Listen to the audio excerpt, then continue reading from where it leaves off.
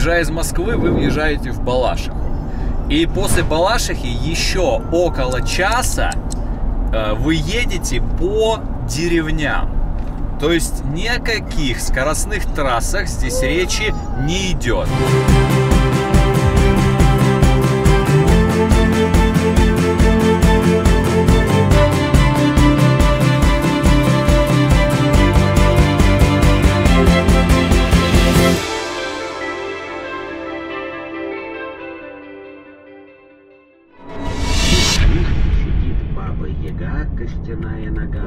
Москвы до Суздали ехать 250 километров. Ну, естественно, зависит от точки, из которой вы отправляетесь. Значит, 250 километров. По времени ориентировочно бросайте 4 часа.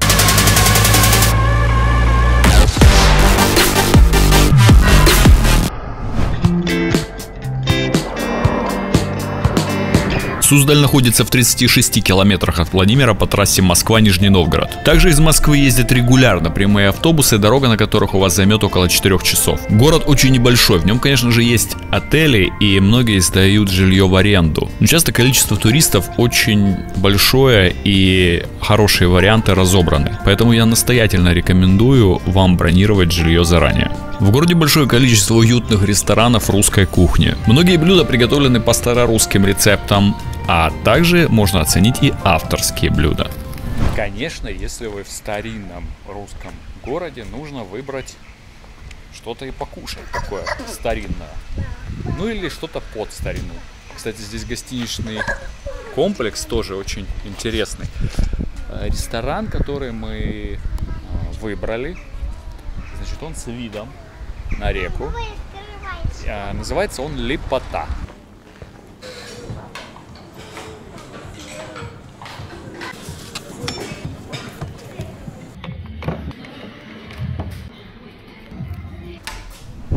Лепота, ресторан, входит в гостиничный комплекс Лепота. Здесь есть трактир, пушкарь, а, здесь есть винегрет, цены московские. Борщик 400 рублей. Суздаль – основа Золотого кольца России. Это огромный музей прямо под открытым небом. Побывать в Суздале стоит для того, чтобы увидеть уникальное сочетание природных красот и древнерусской архитектуры. Этот городок напомнил мне сказку с белокаменными соборами, кремлевскими стенами и золотыми куполами. Здесь находится 32 древних храма, а также более 150 памятников архитектуры. Вы обязательно должны посетить музей деревянного зодчества. Это комплекс построек 17-19 веков под открытым небом. Здесь можно зайти в избу батрака, зажиточного крестьянина, купеческий дом, побывать в двух церквях, возведенных без единого гвоздя. В музее можно почувствовать крестьянский и купеческий быт 17-19 веков, так как мебель, утварь, ремесленные предметы того времени сохранились очень хорошо. Здесь есть мельницы, сараи, амбары, колодцы. Все это можно посмотреть, потрогать и таким образом проникнуться духом старины.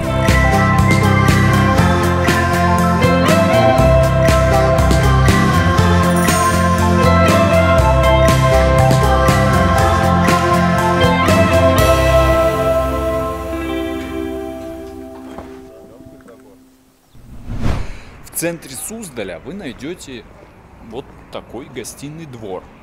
В этом гостином дворе сейчас лавки сувениров, есть кофейни, рестораны, даже паб я видел. Дом льна, сувенирная лавка, ювелирный магазин, так, кафе Сервант, Суздальский пряник.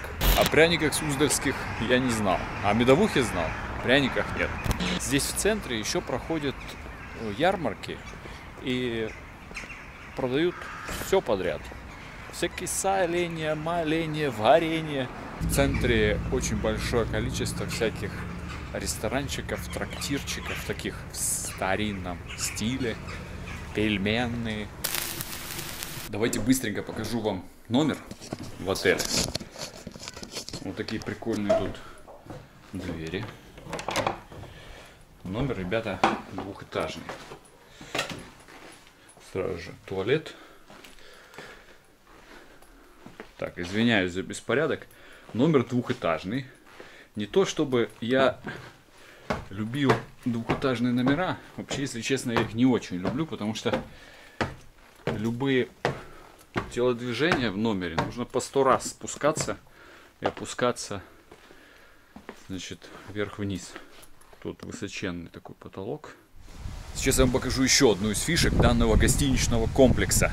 Это э, местные бани. Смотрите, вот такие у вас подогреваемые котлы. Сейчас он накрыт. Вот там банный домик. Это банный домик. Так вот вы можете выйти и сразу же у вас спуск в реку сюда. Определенно могу порекомендовать в этот гостиничный комплекс горячие ключи. Прикольно. Вот ощущение, все воссоздано в стиле русской деревни. Территория большая, где поиграть с детьми есть. Сами видите. Ну и, конечно же, здесь супер чистый воздух, вокруг природа. И на территории вы можете взять в аренду велосипеды. Все это стоит э, очень недорого.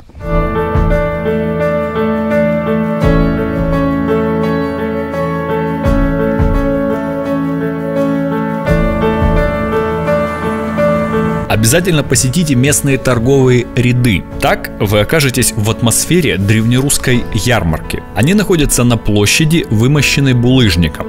Над площадью возвышается старая церковь. На протяжении всей своей истории торговые ряды никогда не пустовали. В старые времена здесь торговали купцы со всей Российской империи. Сегодня первоначальная функция торговых рядов сохранилась. С пустыми руками уйти у вас точно не получится. Суздальский Кремль самое древнее сооружение в городе, которое впитало в себя всю историю города, начиная от Владимира Мономаха.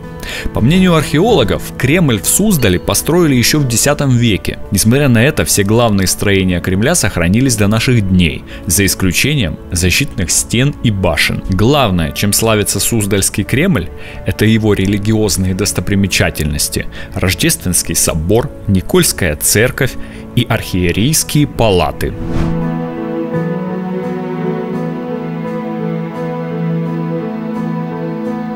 Как тебе цены, на твой взгляд, в Суздале?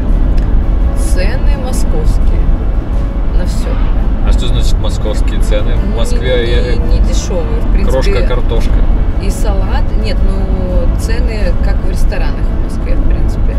Э, салаты и там первое, второе, горячее, это все по московским меркам.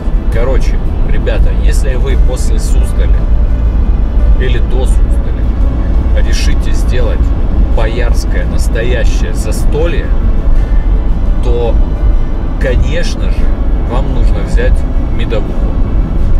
Но, что я заметил насчет медовухи? Суздаль, город-музей по совместительству. Значит, тут храм. В храмах кто? Монахи.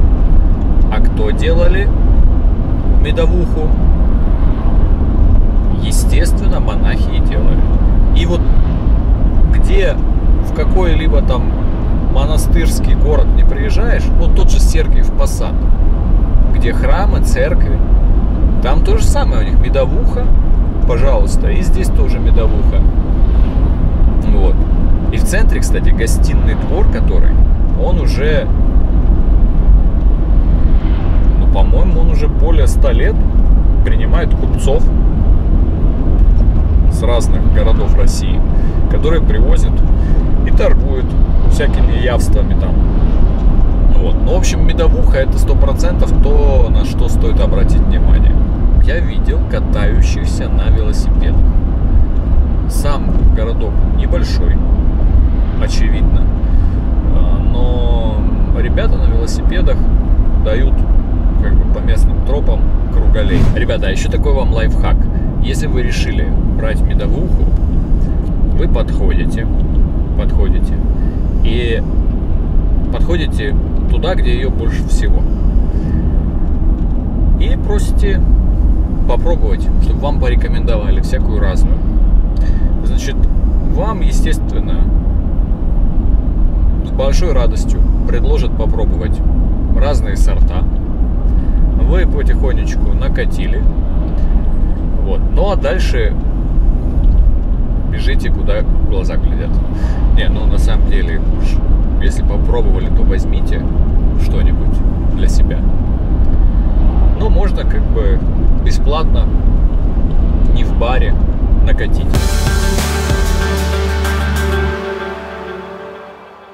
Иваново привлекает внимание хотя бы тем, что является одним из городов Золотого кольца, что, правда, было не сразу, а также имеет статус города невест. Иваново – город, расположенный на берегах реки Уводь с населением 404 тысячи человек. Забавным кажется тот факт, что город имеет также неофициальные названия, среди которых такие как Русский Манчестер, Красный Манчестер, Родина Первого Совета. Вот и очередные мифы. В каком же месте Иваново – это Манчестер? Родина Первого Совета? Откуда такое пошло? Самое интересное, что из тех, кто так назвал этот город, ни один человек в Манчестере и не был, однако имел о нем представление как о городе, наполненном многоэтажными фабриками, где постоянный гул работы этих фабрик и большое количество крутых предпринимателей на дорогих тачках. И так как Иваново тогда располагал большим количеством фабрик, его так и прозвали. Если говорить о мифе родины Первого Совета, то дело было так. Во время беспорядков в 1905 году на берегу реки Талка был избран координирующий орган, он же Совет. Потом забастовщики были арестованы и про Ивановские советы уже забыли. Город насчитывает 7 высших учебных заведений, среди которых Политех, Химико-технологический университет, Энергетический и Ивановский государственный университет а также медицинская, сельскохозяйственная и пожарно-спасательная академии. Состоит город из четырех районов – Фрунзенского, Октябрьского, Советского и Ленинского, где проживают больше всего людей. Чем примечателен Иваново помимо невест? Еще когда Иваново имел название не просто Иваново, а Иваново-Вознесенск, здесь активно развивалась текстильная промышленность. И за действительно качественными тканями едут как раз сюда. Кстати, тот факт, что на фабриках по производству ткани работали в основном девушки и породил слух о том, что именно в этом городе много невест. Что впоследствии закрепилось после песни «Ну чем мы не пара» в исполнении Андрея Миронова в фильме «Честный, умный, неженатый», где мелькали такие строчки «Так и знай, я уеду в Иваново, а Иваново – город невест». Так и знай, я уеду в Иваново, а город невест. Но, кстати говоря, город невест это уже скорее миф или просто стереотип, ведь сейчас количество девушек в городе не такое большое, каким было раньше. Пожалуй, Иваново город для тех, кто интересуется памятниками архитектуры. Здесь их великое множество и 14 из них имеют федеральную категорию охраны. На данный момент в городе широко представлена архитектура авангарда, которая насчитывает около 50 зданий, среди которых и дом Подкова, и дом Корабль, и здание Ивсельбанка, и даже железнодорожный вокзал. Для любителей старинных церквей, к сожалению, не самые приятные новости. Почти все они были уничтожены при советской власти. И сейчас город насчитывает их лишь пять. Казанская, Илинская и Владимирская церковь, Преображенский собор и Введенский храм – если вы любитель поизучать исторические памятники, то Иваново располагает и ими. Это памятник борцам революции, мемориальный комплекс Красная Талка и другие. Достопримечательностей здесь не так много, как, например, в том же Владимире, однако есть фишки, которые принадлежат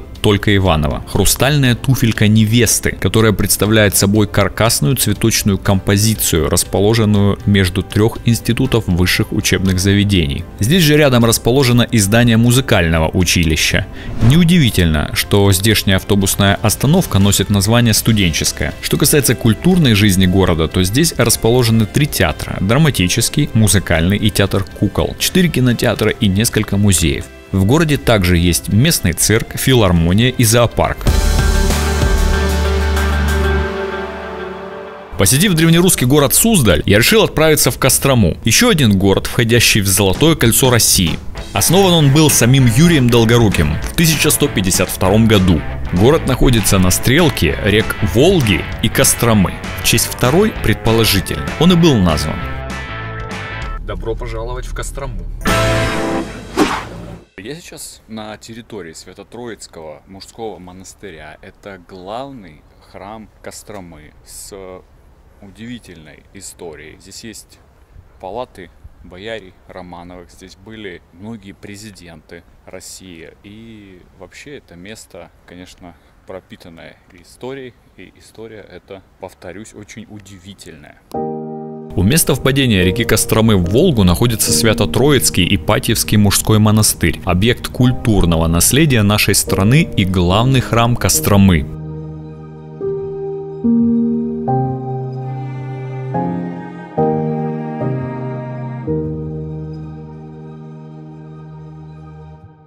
Территория у монастыря небольшая, и многие его части закрыты для посещения. Но тем не менее, это обязательное место, просто обязательное для посещения в Костроме. Вход сюда платный, в зависимости от э, возраста, категории граждан 100-200 рублей. Если вы хотите снимать, вот как сейчас снимаю я, вы заплатите еще 100 рублей. Также есть гиды, можно заказать экскурсию здесь на месте. Колыбель династии Романовых. Именно здесь находился юный Михаил Романов, когда его избрали царем. Каждый следующий наследник престола, пометуя об этом, щедро одаривал обитель редкими книгами, иконами и предметами искусства. Главным действующим храмом обители является Троицкий собор, украшенный иконописью, монументальной живописью, выполненными лучшими мастерами своего времени. Изначально он был выполнен из дерева, но в 16 столетии был отстроен в камне.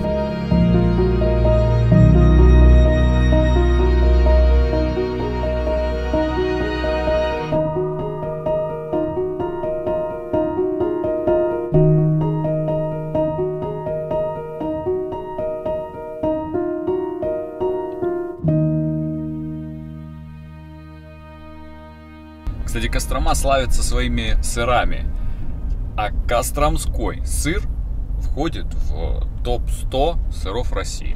Предполагаю, что адыгейский сыр может определенно дать бой Костромскому. В Костроме, кстати, есть музей сыра. Можете посетить. Я сейчас по мосту еду. Такой он, ремонт идет, полуразбитый. Вообще, кстати, дороги тут оставляют желать лучшего. Сам город, конечно, небольшой. 380, по-моему, тысяч человек. Вообще на машине передвигаться очень быстро, удобно, и я еще ни разу не стоял в пробках. И я вот какую локацию не вобью, мне до любой точки, ну такой 10 минут, 12 минут ехать. То есть все близко. Пожарная Каланча, она же наблюдательная башня, была построена в 1827 году для борьбы с пожарами. Высота Каланчи 35 метров.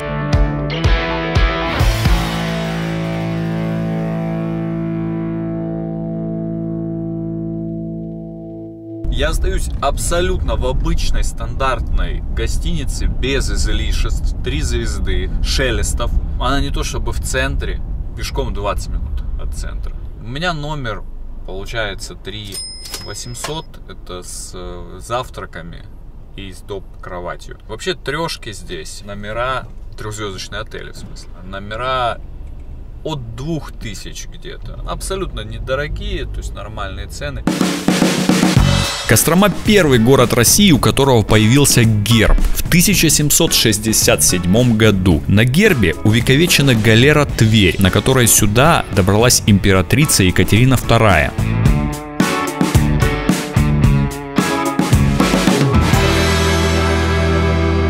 Друзья, если вы хотите почувствовать, какими были рынки несколько столетий назад, то вам сюда. Мы по-прежнему в центре Костромы. Здесь по-прежнему работает экскаватор. Место это называется Красные ряды и также они называются гостиным двором. Отсюда, по сути, начиналась торговля в Костроме. Если вы проголодаетесь к моменту посещения этого места, то вам можно посетить местную чебуречную, где вы можете скушать чебуречек. Ребята, вот здесь на центральном рынке самые демократичные цены. Пирожок с капустой 20 рублей, с мясом и луком 39 рублей, эклеры по 25 рублей. В общем, можно два пакета пирожков набрать, всяких разных заплатить, 200 рублей и пойти гулять. Торговые ряды старинный купеческий центр, занимающий несколько кварталов. Здесь можно найти всевозможные продукты, сувениры и многое другое.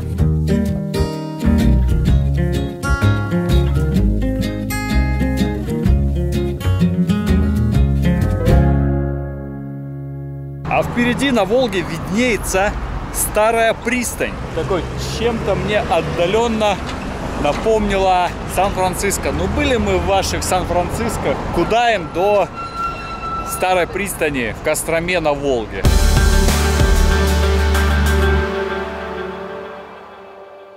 Друзья, привет! Отличного вам дня! Я продолжаю свои путешествия по России. И сейчас я въехал город Владимир.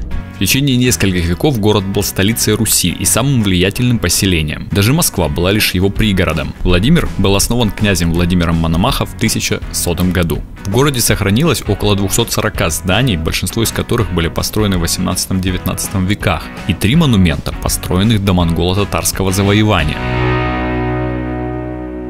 Ну, город небольшой сам по себе. Ну, хотя как небольшой? Кому как. 350 тысяч населения. Ну, я считаю небольшим городом. Конечно, если вы живете в миллионнике, то для вас будет он небольшим. Вот мне, собственно говоря, он небольшим и кажется. Я вбиваю в навигаторе какие-то достопримечательности, мне показывает 15 минут сюда, 15 минут туда. Парковка в центре 50 рублей час.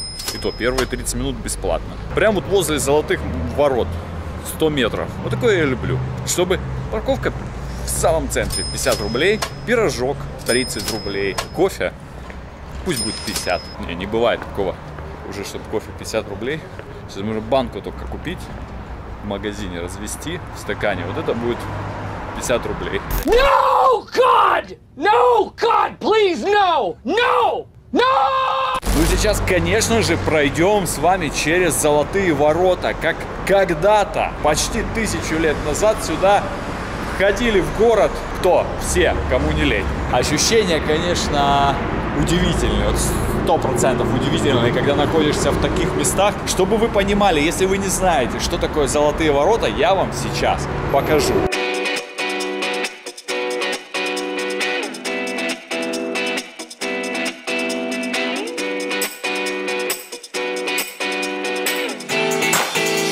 Золотые ворота – это единственные ворота из семи существовавших в те времена, которые служили пропускным пунктом в город, ну и, соответственно, защитой.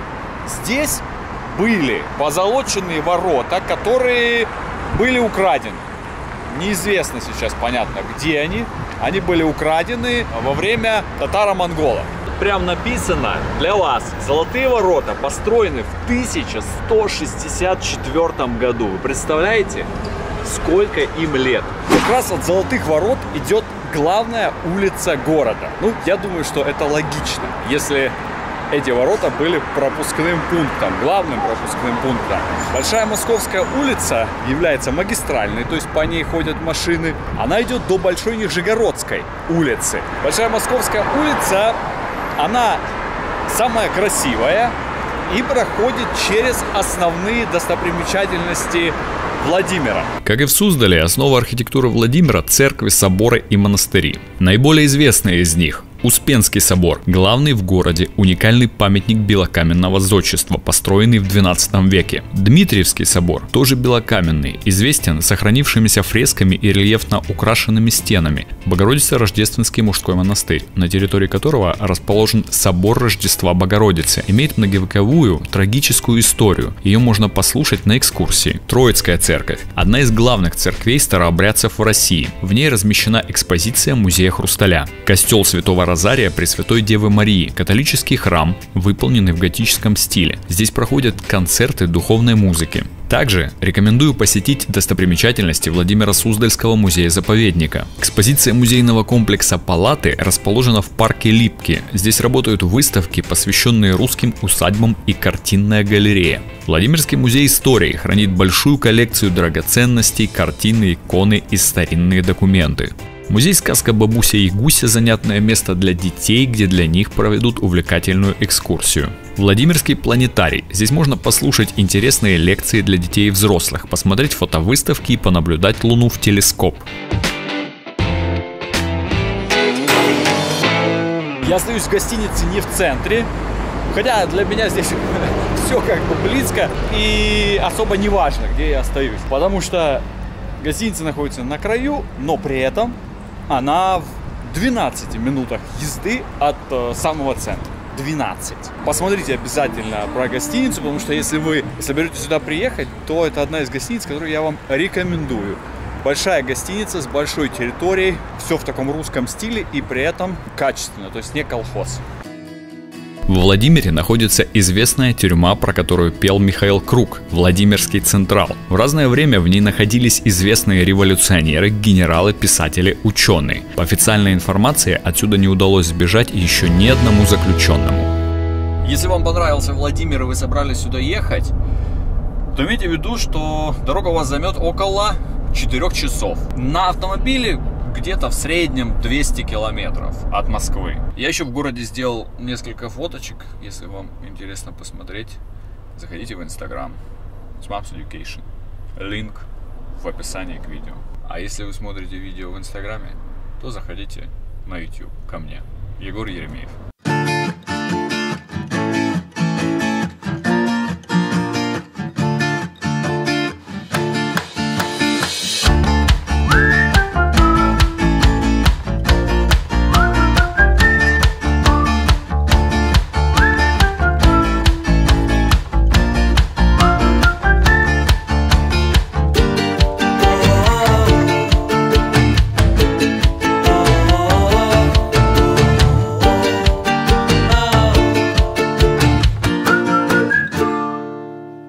Давайте поднимемся, я вам быстренько покажу свой номер. Я остаюсь на третьем этаже. У меня номер люкс. Стоимость 6100 без завтраков. Это на двоих взрослых и двоих детей.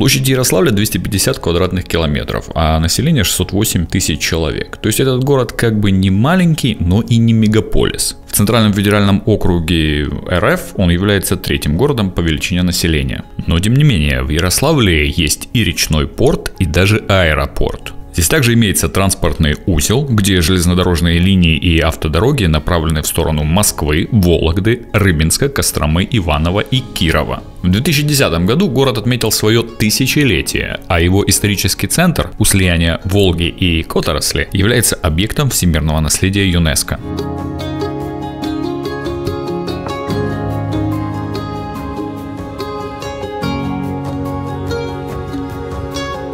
Несложно догадаться, что город был основан кем-то с именем Ярослав. И был это Ярослав Мудрый. Смотрите, а рядом с Успенским собором стоит камень, и на нем написано, на этом месте в 1010 году Ярослав Мудрый основал Ярославль. Ну, точнее, Ярославль был основан на этом месте, вот он пришел к этому камню и говорит, вот здесь буду основывать Ярославль. Наверное, так и было. Место основания Ярославля. 1010 год, получается, 1010 лет назад. ровно 1010 лет назад. Здесь же находится рядышком ротонда, и тут получается, почему он здесь основал, потому что такое место интересное, что находится оно на возвышенности, но это очень часто служило как бы одним из элементов того, чтобы основывать города, чтобы город был на возвышенности и все было видно. Ярославль – это родина старейшего отечественного театра. В этом городе в качестве культурной программы есть возможность посещения как минимум четырех известных в Ярославле театров. Российского академического театра драмы имени Волкова, Ярославского государственного театра кукол, театра юного зрителя, Ярославского камерного театра. В городе также действует Ярославская государственная филармония, цирк, есть кинотеатры, парки культуры и отдыха.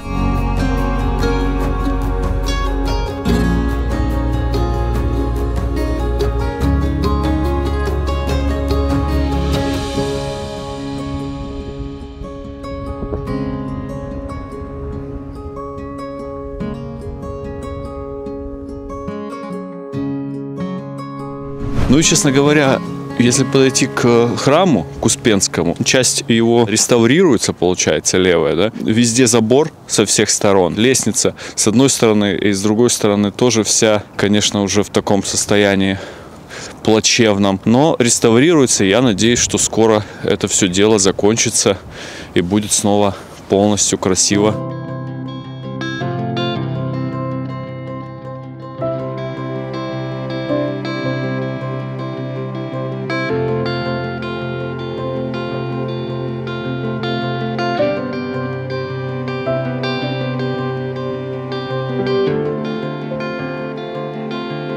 Ярославль – один из городов, которые люди нередко выбирают для переезда. И он, пожалуй, как никакой другой, подходит для тех, кто по каким-то причинам пока не готов переехать в более крупные города. Ну и как в любом другом городе, Ярославль имеет свои плюсы и минусы для переезда или жизни. Конечно, Ярославль – жемчужина Золотого кольца. Здесь, как и в других городах из этого списка, таких как Владимир, Иваново, Суздаль. Кстати, если вам интересны другие города Золотого кольца, пожалуйста, смотрите, видео о них уже опубликованы. Действительно, здесь большое количество древних соборов, красивой архитектуры, конкретно в Ярославле также ухоженная и благоустроенная набережная, а также множество церквей и храмов, которые радуют глаз. Но при всей этой благоустроенности, культурности и радостности мы не должны забывать, что Ярославль – это также и промышленный город. И дымящиеся заводы и фабрики от ваших глаз никто не утаит. Для активных шопоголиков здесь огромное количество торговых центров, ресторанов, фитнес-клубов и других подобных мест. И их число постоянно увеличивается. Ну и, конечно, во всех этих заведениях нужны сотрудники, а значит, работа здесь есть всегда. Но тут есть и не очень приятный момент. Средняя зарплата составляет всего 27 тысяч рублей. В той же Москве средняя зарплата 88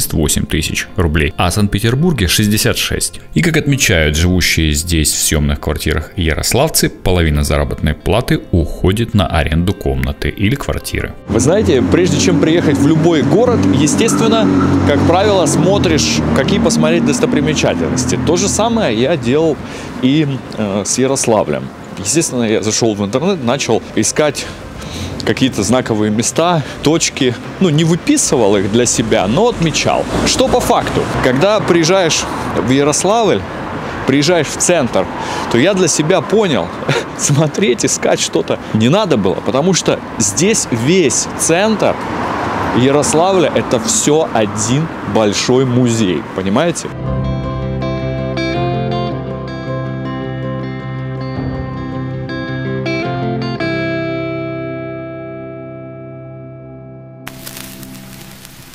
Конечно, по традиции мой ярославский отель, чтобы вы знали, где можете остаться. Возможно, вам тоже это место приглянется. Отель называется Royal Spa and Wellness Ярославль. Ну, короче, Royal Ярославль просто. Здесь в отеле есть два ресторана, большой холл, есть парковка, для автомобиля парковка 200 рублей в сутки. Есть спортзал, что немаловажно, и есть э, спа-зона. Есть разные категории номеров. Где-то включено в стоимость, ну понятно, там цена э, на номер выше, чем стандартный номер. А если вы берете стандартный номер, стандартный номер вам здесь обойдется в 4,5 тысячи. Это стандартный номер. Посещение спа-зоны 900 рублей на человека. Есть несколько видов саун, бассейн и есть спортзал бесплатный. Можете ходить сколько захотите. Покатавшись немного по Ярославлю на автомобиле, я могу отметить, что город загруженный, и я не раз стоял в пробках. Возможно, конечно, мне попалось такое время. Как мне показалось, город идеально подходит для посещения всей семьей. У него очень приятный центр, где можно погулять с детьми, а также здесь немало достопримечательностей, подходящих для визита с детьми. Местная детская железная дорога. Фишка ее является то, что сотрудники этой железной дороги – дети. Здесь любых желающих ребят от 10 лет могут обучить специальностям, связанным с железнодорожным транспортом, водителям, бортпроводникам и другим. Но прокатиться на таком поезде можно за какие-то 200 рублей. Можно посетить и Ярославский планетарий имени Терешковой. Вся красота видна еще до того, как вы переступаете его порог. Здание выполнено в настолько необычном архитектурном стиле, что возникает ощущение, будто вы находитесь в какой-то другой галактике. В планетарии есть экспозиционно-выставочный зал «История космонавтики», обсерватория, медиакафе, 5D-аттракционы и непосредственно сам планетарий с 3D-визуализацией. В Ярославле есть и зоопарк, который был основан в 2008 году. Здесь можно посмотреть на 250 видов животных, а сам зоопарк построен так, чтобы его жители находились не в тесных клетках, а на достаточно больших территориях.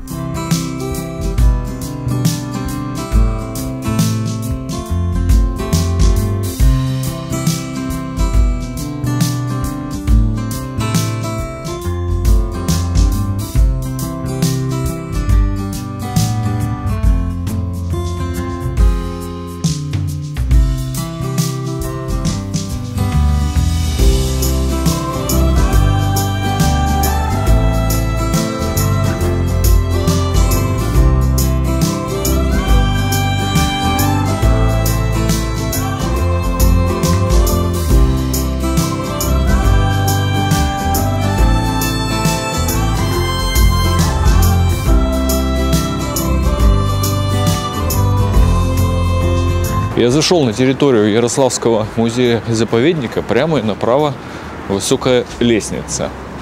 Ну, вот по крышке я вижу лестницы высокой. Ну, не похоже, что это как бы здесь. Ну да, там он стой. Дороги нет. Непонятно.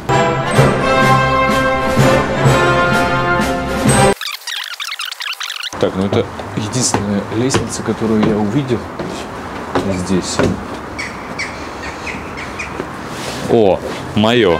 Еле нашел вас. Я уже думал, что не найду. Не попаду сюда никогда. По зданиям, по вот этим, они все одинаковые. Эти лестницы одинаковой высоты. Куда идти, в какую лестницу?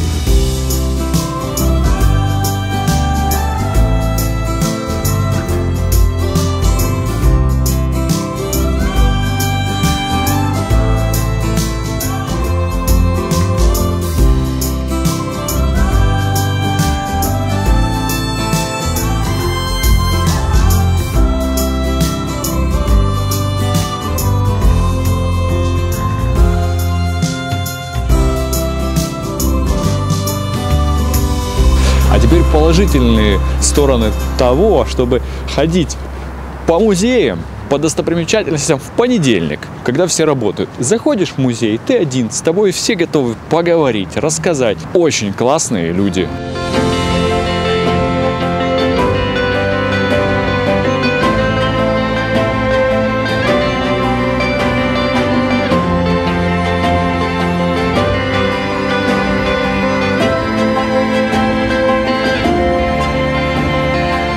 Что мне понравилось как э, туристу? Во-первых, здесь большое количество мест, где можно посидеть, отдохнуть, выпить кофе. Хотите хороший качественный ресторан, есть хорошие качественные рестораны. Все в шаговой доступности, не надо что-то искать, как, к примеру, вот в Вологде в центр приезжаешь, конечно, там все это меньше, в центр приезжаешь, хочешь поесть, куда-то зайти, и как бы ты такой, а-а, и ты не знаешь, блин, а куда идти-то? А где что-то перекусить? А где посидеть, отдохнуть? Здесь же такого абсолютно нет. Если вы смотрите этот выпуск, то можете сразу же включать один известный фильм, потому что мы с вами находимся именно там, где снимали Иван Васильевич меняет профессию. Здравствуйте, царь. Очень приятно. Царь. Очень приятно, царь. Очень приятно. Здравствуйте, царь. Очень приятно, царь. Царь, очень приятно. Здравствуйте, царь. Очень приятно. Это Ростов Великий, один из городов Золотого Кольца. И сегодня как раз таки мы смотрим его. Вьюга,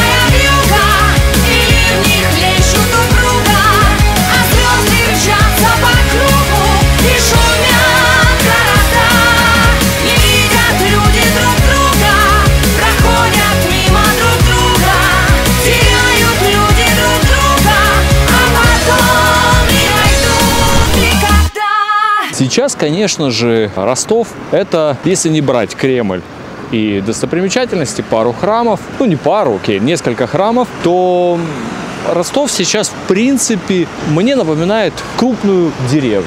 Ростов является одним из древнейших городов России, и свое летоисчисление он ведет с 862 года. Когда-то давно он был центром северо-восточной Руси. Сейчас же здесь проживает около 30 тысяч человек. Очень-очень небольшой городок.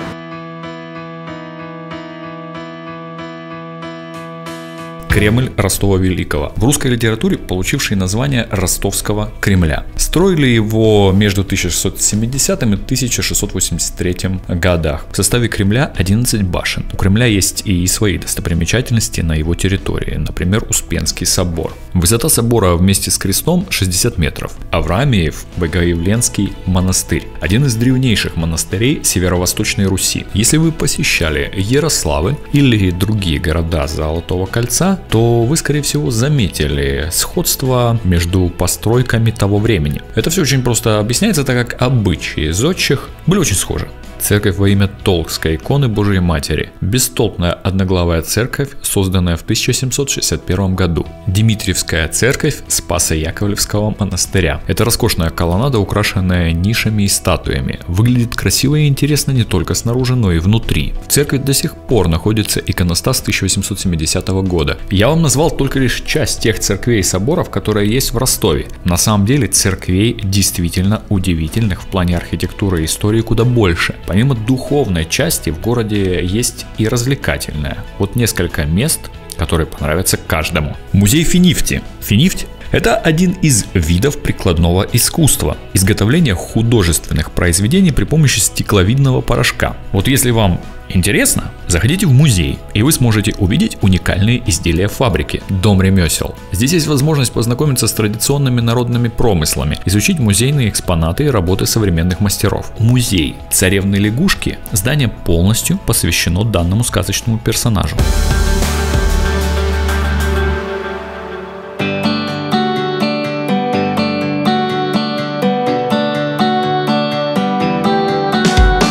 Переславль-Залесский, или как его чаще называют, просто Переславль. Город Ярославской области, включенный в состав Золотого кольца России и расположенный на берегу Плещеева озера. Привлекает достаточно большое количество туристов, приезжающих в город на экскурсию. По статистике, данный город посещает около 300 тысяч человек в год.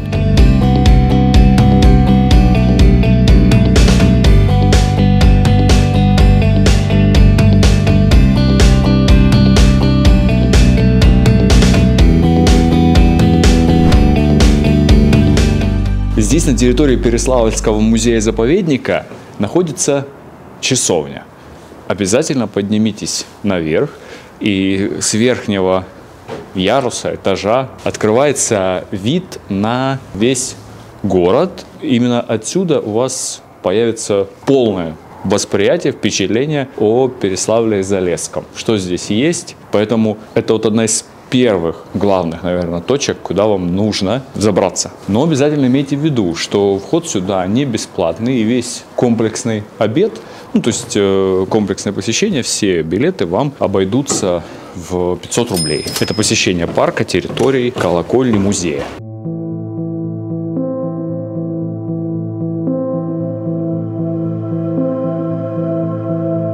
Переславль очень маленький городок. Его население всего 38 тысяч человек. И постепенно это количество уменьшается, так как молодые люди нередко решают переезжать в другие города покрупнее. Но хоть он и маленький, хоть из него и уезжают, он имеет очень богатую и насыщенную историю. Интересный факт, что он моложе Москвы всего на 5 лет. Он был основан в 1152 году князем Юрием Долгоруким, как будущая столица северо-восточной Руси. Тогда князь заложил на болотистой равнине огромный по тем временам город с длиной валов примерно 2,5 квадратных километра. Изначально название города звучало как Переяславль в честь города Переяславль-Русский, который сейчас именуется Переяславль-Хмельницким и находится на территории Украины. Дополнение Залески Переяславль получил из-за своего расположения. Он находится за лесами в Залесье, области полей и земледелия. После кончины князя Юрия Долгорукова Переславль-Залесский потерял свои столичные функции и его развитие было приостановлено. Но сам по себе город остался важнейшим из уделов, а в 1220 году именно здесь родился князь Александр Невский. Невский.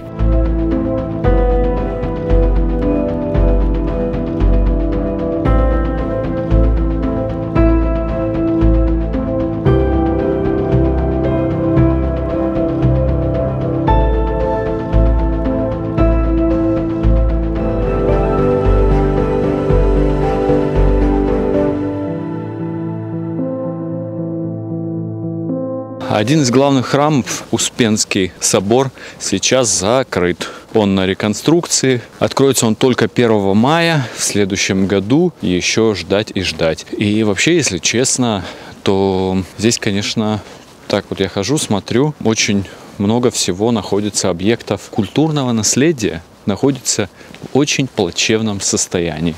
Это, конечно, очень жалко. И из всех городов Золотого кольца, где я был, а я был во всех городах Золотого кольца, Переславль-Залесский, мне кажется, находится в самом таком плачевненьком состоянии. Очень, конечно, красивые храмы, но, к сожалению, очень-очень все плачевненько, очень плачевненько. Вот даже там стоит сцена какая-то просто полураздолбанная полуброшенная. Также какие-то вывески, входы, сами здания. Все обшарпанное, ободранное.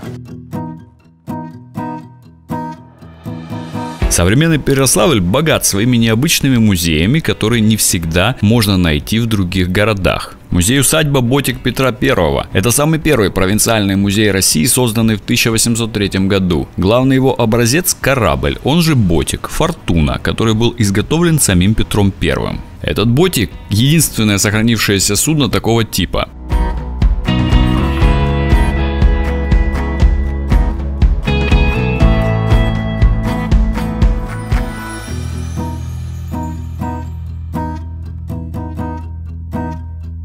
Нахожусь на территории Никольского женского монастыря и попал на пятичасовой колокольный перезвон. Надеюсь, вам слышно. Здесь тоже, если посмотреть, Никольский монастырь находится в состоянии реконструкции, стоят леса, и его история начинается еще с 14 века. Позже, в 17 веке были построены колокольня и э, весь ансамбль, но потом, в 1934 году, здесь все было разрушено, взорвано, и только в 2005 году уже как бы привели такой вид, который мы сейчас с вами наблюдаем.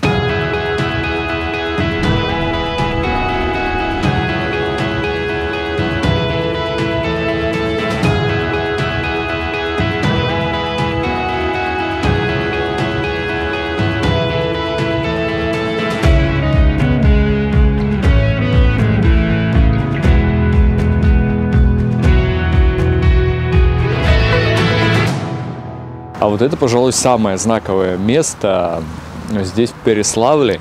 Это Спасо-Преображенский собор, который был заложен в 12 веке самим Юрием Долгоруким. И именно здесь, точнее, Здесь крестили Александра Невского позже, а родился Александр Невский здесь вот э, недалеко в княжьих палатах 30 мая 1220 года. Вот так надо потрогать историю. Вот это действительно история. И здесь же, прям перед собором, стоит памятник Александру Невскому.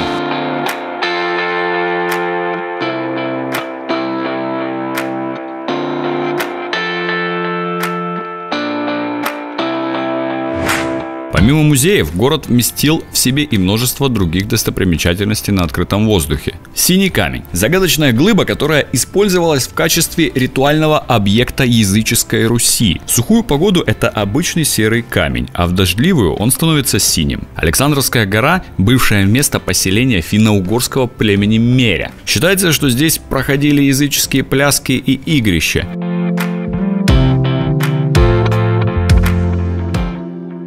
Пару слов про отель в Переславле. Я буду рекомендовать вам один единственный отель. Это Азимут Переславль, так и называется. Азимут это сеть. Несколько слов. Ну, для начала, это отель который находится не в Переславле-Залесском. А точнее, он находится где-то в 20 минутах езды на а, машине, но это его и плюс, на мой взгляд. Вы можете находиться здесь удаленно, как бы здесь большая территория, здесь есть чем заняться. Я вам расскажу про плюсы и минусы данного гостиничного комплекса. Ну, вообще, этот гостиничный комплекс, э, скажем, для такой русско-сельской местности э, очень классный. Здесь большая территория, здесь классные корпуса международного уровня, здесь можно погулять, здесь разные форматы номеров. То есть не просто как бы номера, но здесь есть а, обычные номера стандартные, здесь есть номера класса люкс, здесь есть коттеджи. Следующий момент и плюс этого гостиничного комплекса. Он находится не в самом Переславле, но он находится на пересечении дорог, и отсюда, в принципе, удобно добраться до основных таких культурных мест,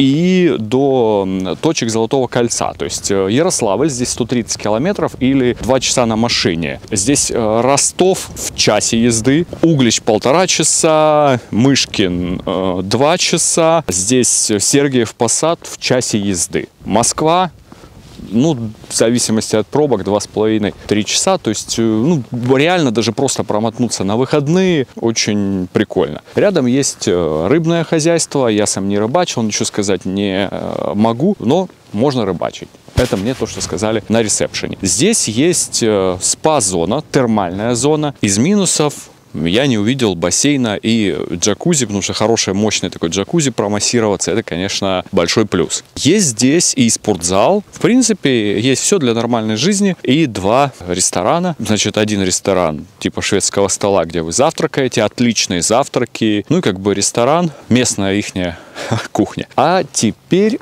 к минусам ребята. Во-первых, здесь есть, как бы понятно, детские зоны. С марта месяца здесь в Ярославской области закрыли детские зоны, и вы не можете, ну, несмотря на то, что в гостинице есть эта услуга, как бы, чтобы поиграли с детьми, аниматоры, но в гостинице вы сейчас не можете внутри отдать в детскую зону, потому что она закрыта просто-напросто. Поэтому дети всегда с вами, и уединиться вдвоем, как бы посидеть у вас не получится, потому что всегда нужно как бы с, с детьми, чтобы дети были с вами. И еще что из минусов и о чем меня не предупредили. Здесь несколько корпусов. Как бы если вы снимаете коттедж, это отдельная история. Если вы снимаете номер, значит здесь история следующая, что есть один главный корпус, где э, номера класса полулюкс и люкс. Есть второй корпус, где номера класса стандарт. И он находится в 200-300 метров, получается, от главного корпуса. А все, что вы как бы будете делать, есть, ходить в термальную зону, бильярдная, кстати, бильярдная есть, термальная зона, завтраки, это все в главном корпусе у вас происходит. Каждый раз, когда вы хотите, к примеру, пойти, значит, э, погреться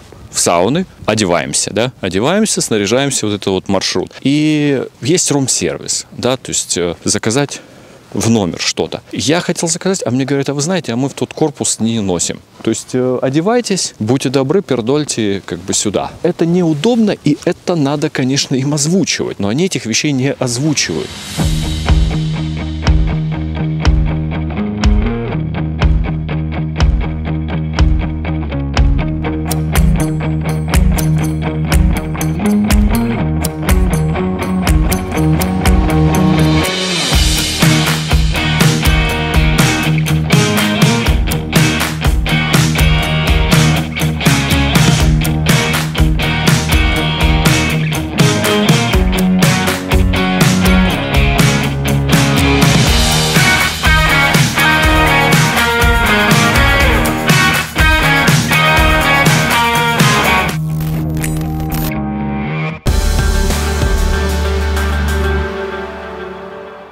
Друзья, привет! Сегодняшний выпуск посвящен тому, чтобы на один день уехать из Москвы и устроить себе такой мини-туризм.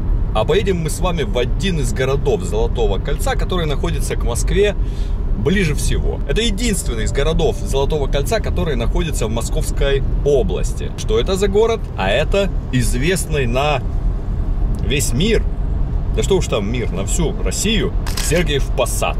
В среднем, чтобы выбраться из Москвы, камера на полосу. в среднем, чтобы выбраться из Москвы и уехать э, в Сергиев Посад, доехать до Сергиева Посада, у вас займет 2 часа. Час кидайте на то, чтобы выехать из Москвы, и около часа ехать до самого Сергиева Посада. As I went down to the river to pray, way, and who shall wear that robe and crown? love.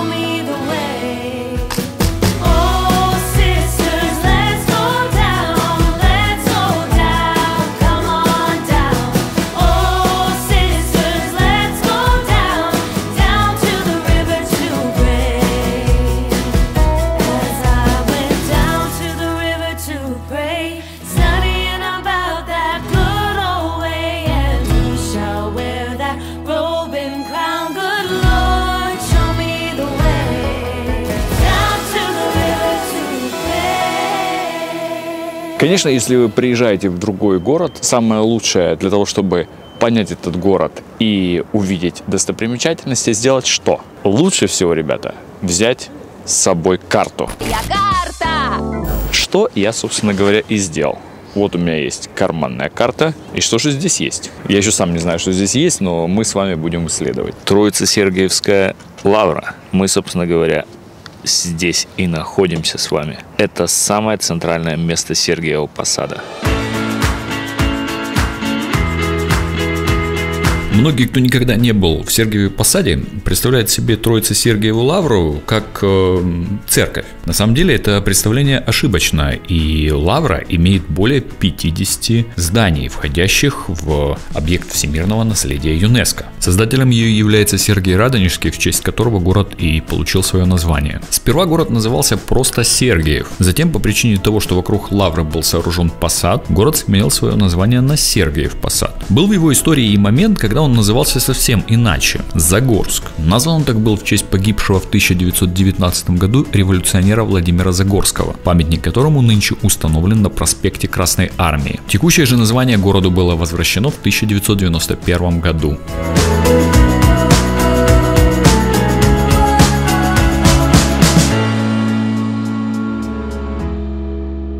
Один из первых пунктов, который советуют сделать в городе, это посмотреть на него с колокольни. Собственно говоря, колокольня за мной и находится. А почему? Прежде всего, понять, как устроен город, что здесь есть, можно, конечно же, с высоты птичьего полета. Вот эта колокольня, ребята, одна из самых высоких колоколен в России. Ее высота 88 метров, и здесь находится самый большой звенящий, то есть работающий колокол в мире. Да, конечно, самый большой колокол – это у нас царь-колокол, который находится в Кремле, но он не звенит и ни разу не звенел, так как его как отлили, он так и пролежал там. А здесь колокол звенящий, его вес достигает почти 70 тонн. И звон его слышен на многие километры. Ну что, мы с вами пойдем наверх? Нет, ребятки, мы с вами сегодня не пойдем наверх. А почему? Потому что удовольствие это платное. Для того, чтобы подняться сюда, это не просто так пришли и пошли себе наверх на колокольню. Для того, чтобы подняться сюда, нужно записаться на экскурсию в группу. Экскурсии в группах от 1 до 6 человек стоят э, полторы тысячи на группу. И неважно, будь вы один человек, как я, или будь вас 6 человек. Конечно, если 6 человек, это все отлично, нормальная цена. Но так как я один, я должен отдать здесь э, за выход туда наверх на колокольню, я должен отдать полторашку, что я считаю дороговато. И сам весь этот э, экскурс длится около 40 минут. Ну, собственно говоря, вот почему это одна из первых рекомендаций для посещения Сергиева Посада. Денежки в бюджет города и монастыря. Сергиев Посад примечателен не только наличием на его территории лавры, но и другими не менее интересными моментами и фактами. Считается, что именно здесь появилась русская матрешка. И именно матрешка спасла жизнь многим жителям этого города около сотни лет назад. Нет, конечно же, матрешка не пришла в город и не, не начала как какой-нибудь супермен отбиваться от э, врагов захватчиков. На самом деле в городе был упадок, и жителям надо было как-то зарабатывать. И матрешечники продавали свои изделия приезжающим сюда туристам. Ну и, собственно говоря, этих денег хватало на хлеб. В Сергиеве Посаде побывали многие русские писатели, среди которых Гоголь, Бунин, Куприн, Лермонтов, Толстой, Ахматова, Дюма. Именно здесь, в Сергиеве Посаде, был крещен Иван Грозный.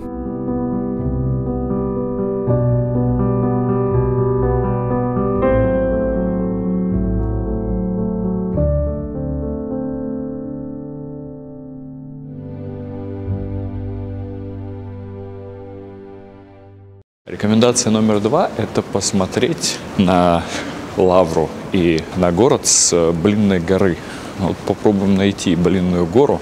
Из блинов, наверное, сделана. Блинная гора и заберемся туда.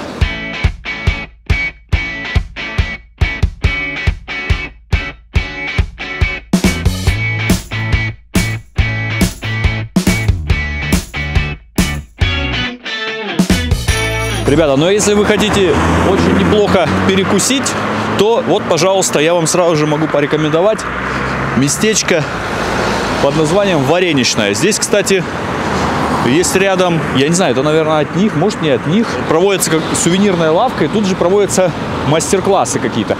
Я ничего это не рекламирую, просто увидел, но мастер-классы по всяким тут традиционным их местным ремеслам. Вот, очень прикольно. И вареничная сама по себе тоже прикольная. Внутри все стилизовано. В общем, приятная, приятная внутри атмосферка такая. Ну и русская еда всякая разная.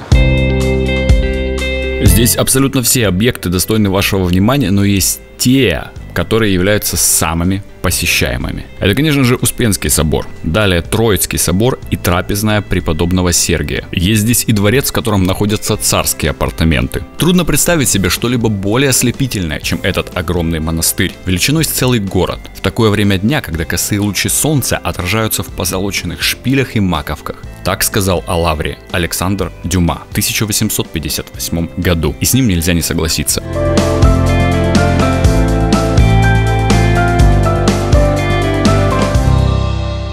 Ребята, ну вот мы с вами и дошли до Блинной горы. Это считается лучшим местом в городе для вот этого вот шикарного вида. Находится она в двух километрах где-то от монастыря. Идти совсем недолго, я советую вам не игнорировать это место, потому что здесь, ну, на мой взгляд, сейчас, наверное, одно из лучших мест, где можно сделать классные фотки, и все приходят сюда и фотографируются. Сразу же, когда я шел сюда, когда я увидел э, название этого места, Блинная гора, первый вопрос, почему гора называется Блинной? Раньше, когда приезжали паломники, здесь пекли блины, и можно было отведать их, прийти сюда, подкрепиться. Это было как бы одной из частью паломничества, то есть это обязательный, как обязательный ритуал. Во времена революции Лавра находилась в упадке, ну и, собственно говоря, естественно, и Блинная тоже. И там стала просто местная барахолка. Но потом, где-то в 60-х годах, там сделали смотровую площадку. Кстати, от барахолки, вот, ну, от Блинной горы, буквально 200 метров, и здесь находится ярмарка, где можно купить всякие сувениры, матрешки, ну и съесть какие-то пирожки, сосиски в тесте. Прямо около стен Лавры на берегу Белого пруда расположился музейный комплекс «Конный двор». Сейчас здесь музейные экспозиции. Посвящены они ремеслу, творчеству, богатствам исторического края. Гордостью современных жителей Сергиева Посада является дворец культуры Гагарина, где находится главная сцена, на которой проходят концерты и другие мероприятия города. Музей игрушки на сегодняшний день радует коллекциями русской народной игрушки, изделиями мастеров Западной Европы и Азии. Музей крестьянского быта жили-были. Здесь представлены предметы быта семьи, крестьян, посуда, одежда, ремесленные изделия, игрушки.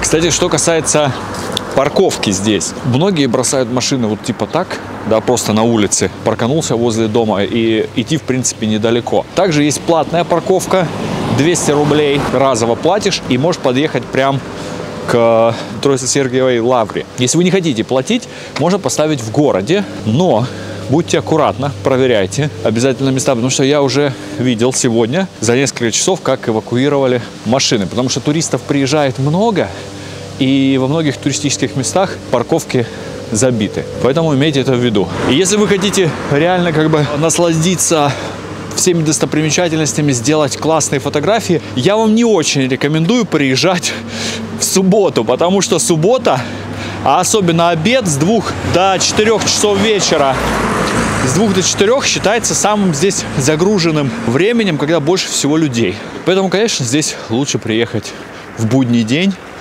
если, конечно, есть такая возможность, тогда будет попроще. Естественно, с парковками, со всеми этими делами тоже будет проще. Еще, кстати, вариант, как как велосипедист, вам сразу же говорю, что здесь есть велошеринги, всякие разные, я названия не знаю их, но они есть. И если вы приехали и хотите покататься по городу, погода позволяет, то можете здесь снять велик в аренду. Просто вбейте аренда Сергиев Посад и все. Да, Сергиев Посад относится к Московской области, поэтому, естественно, очень многие москвичи жители Московской области приезжают посмотреть там в туристических целях, паломнических целях, приезжают сюда в монастыри. Ну, это, скажем, Сергиев Посад, это как э, русский Ватикан у нас. Поэтому, несмотря на то, что в городе живет около 100 тысяч жителей, то есть город небольшой, но здесь часто из-за большого количества туристов создаются пробки. Есть вот такой вот элемент, конечно, с парковками.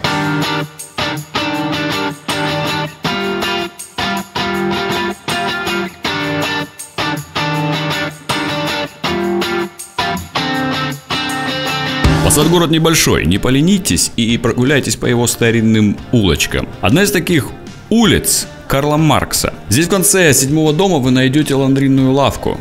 Обязательно отведайте местные ландрины. Не знаете, что такое ландрины? Вам на эту улицу.